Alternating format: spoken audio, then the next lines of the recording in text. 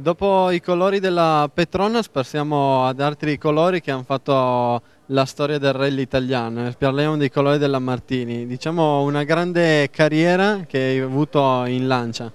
Sì, io ho iniziato proprio con questo modello di macchina a correre nella scuola Lancia nell'83 vincendo l'italiano e il campionato europeo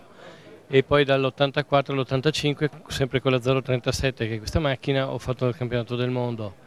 nell'86 ho vinto la mia prima gara di mondiale con la S4 con i colori martini per poi passare nell'87 a tutta la serie delle Delta, le sei annate vincenti nel campionato del mondo Marche e i due titoli mondiali per me con la Delta nell'88 e nell'89. Della tua carriera sportiva in lancia qual è la macchina che ricordi con più emozione? Ma la macchina che mi ha dato più emozione sicuramente è stata l'S4 che è stata la macchina più potente eh, che ha partecipato ai rally come gruppo B, eravamo quasi a 600 cavalli di potenza, quindi una, una macchina eccezionale con un'accelerazione fantastica. Purtroppo erano macchine anche molto pericolose, quindi sono state abolite, e, però noi piloti siamo delle, degli animali da corsa, quindi più cavalli avevamo a disposizione, più eravamo contenti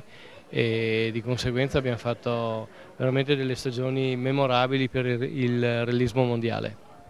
E come avete vissuto in Lancia l'abolizione del gruppo B? Ma, eh, la Lancia aveva pronta già la, la Delta dopo la, la, S4 e quindi dalla 4VD nell'87 con cui ho vinto la prima gara d'esordio, il Rally Monte Carlo, fino al, eh, fino al 92 è stato veramente un, un, un salire di prestazioni e di, e di vittorie mondiali nel campionato Marche. Dovessi dare un consiglio a un giovane che vuole intraprendere questa carriera? Ma, eh, allora innanzitutto secondo me i giovani devono iniziare con una certa umiltà, nel senso che già la crisi economica fa, fa fatica a, a, passare e trovare sponsor è sempre più difficile, conviene iniziare con una macchina piccola cercando di mettersi in evidenza nelle piccole categorie, non volere subito correre con delle macchine estremamente performanti e veloci